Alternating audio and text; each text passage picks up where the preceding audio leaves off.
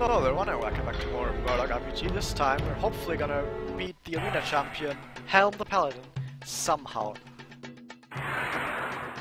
We're gonna try and do something like this. Try and keep him there.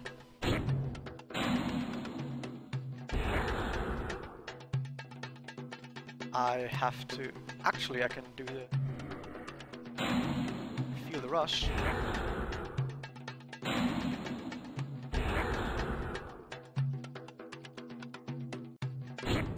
Um, still good.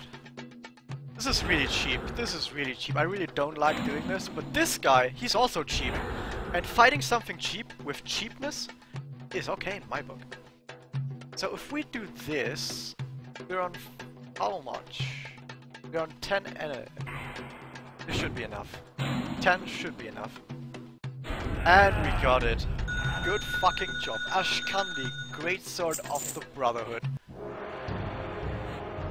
Finally, look at our damage. 102 to 136. And my level is too fucking low. Fuck you. This, yeah, I want to do it. Let's start this. How to browse your goods. Level 20 as well. Oh my god. Tell this. This shit isn't even that good. Actually, no, this thing's better. Also needs level 2. Holy shit, that fucking shield. No, it's not even, it's not even that good. Okay, guys, I will have to cut right here. I'm, well, you're not gonna notice the cut because I'm gonna do the, do the next thing right after this, but I'm gonna have to grind for a bit. And I'll see you guys in just a second, but I'm gonna be grinding for like fucking an hour or something until I get level 20. See oh my god, that took forever. Hello everyone, and yeah, hard on me. So it took me like two hours uh, but we finally got it, level 20. Somehow made a mouse point from here, I don't know how. Got everything. More importantly, we, level 20, were able to put on the Seal of Jin, which gave us agility, which gave us maximum energy. Finally, holy shit, it took so long to get more maximum. We're able to use Ashkandi, the Great Sword of the Brotherhood, and also use the Grand Marshal's Claymore. Now, I've done some testing, and Ashkandi does about 50% more damage than the Grand Marshal's Claymore does. However, Grand Marshal's Claymore, we have 500 more HP, or somewhere around that, so a little bit of some options now. What I'm gonna do is, obviously now the only thing left in the game is to fight Hakkar, the Soul Flayer. So I'm gonna try and fight Hakkar, and with this sword right now, with maximum damage, and we're gonna see what happens. If that doesn't quite work out, then I'm gonna switch to the Grand Marshal Sword and see if I can tank him out. And apart from that, I'm just gonna have to see if maybe I need to do some weird strategy to somehow make it, I don't know. To find out how we're gonna do this. Maybe to something really lame in the end as well. We're gonna do this, we're gonna shield ourselves. Oh, oh Life tap. I feel the rush. We're not gonna cold blood right now because we're gonna need to get every single bit of damage out from our energy that we can. However, I wow, nice counterattack. However, I know about how much damage I can do, and I know that I do about 1,500 this. Done. I feel the rush. A pummel here for safety. And that's a kill! This damage is actually ridiculous. And we get Shinrok, Destroyer of Worlds. It's, it's actually the worst of the three, I think. Yeah, it's got the least damage, and it's got the damage. I don't know. Drops. And we finally managed to beat Hakkar, the Soul Flayer. And if you remember correctly, there was this one uh, troll that told us, in order to be safe, to destroy Hakkar. So we're gonna go back and we're gonna see what he has to say to us.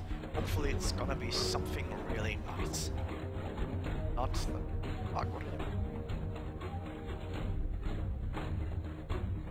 So I also think that there's something special happening when we go to Portal that happened, uh, that opened up when we miraculous story. I'm not quite sure exactly what happens again, so we have to find that out.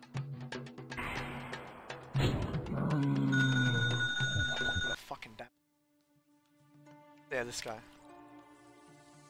Our true we take this gift, and we get Azara's Charm of Magic, a neck thing that gives 24 agility. All because we've beat everything in the game right now. But what you wanna also sell this. Yeah, we can't buy the blob talisman, so we can't go full on everything. Oh, kind of. Okay. By the way, something I found out for getting some money, which is not really a reliable thing to do, but I don't know. Might actually be the best way to get gold is sometimes there's a random chance when you get a fight with a tiger or a gorilla or anything in this area just any random fight has a random chance, that's a random fight, but any fight you go into has a random chance of spawning a harpy instead of the enemy you just ran in. So on the world map, or where I am right now, uh, world map, the map, whatever I am in right now, it looks like it's like a tiger or a gorilla, but if you run into it, there's a chance it's instead a harpy. that harpy drops a caster staff, benediction, and that staff drops, uh, sells for multiple amounts, multiple, uh, double digit. Actually, I think it's like 5 gold or 3 gold or something. It, it sells for some gold. And you can use that to like, get some gold for some other stuff in here. Think that's actually the end of Murloc RPG, as far as I know. Say, says that there's a dragon, but he doesn't know anything else. Just know that maybe there is a dragon. Don't know about there as well. We're gonna get in the machine. And we're gonna go back all the way. Oh look, it's a... Bam! It's a bit odd seeing Murloc wield Ashkandi, great sword of the Brotherhood, but... Why not? I like it. Go back in our camp where absolutely nothing has changed. We're gonna just go into and so, Brave Murk fall through only to find another adventure that awaits. Oh. Point and kill him. I have no idea what that guy just said. Or did I, maybe he said like I'm going to kill him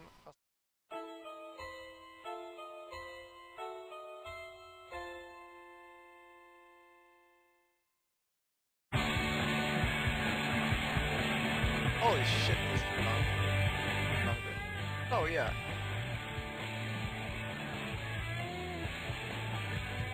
As you can see, this is the uh, cast. Bit of what kind of Also, what the fuck is that? Is that formatting? Maybe gonna find out. Maybe the last one? That one? Oh no, it's the pillows. That was this the singer sounds a bit like the singer from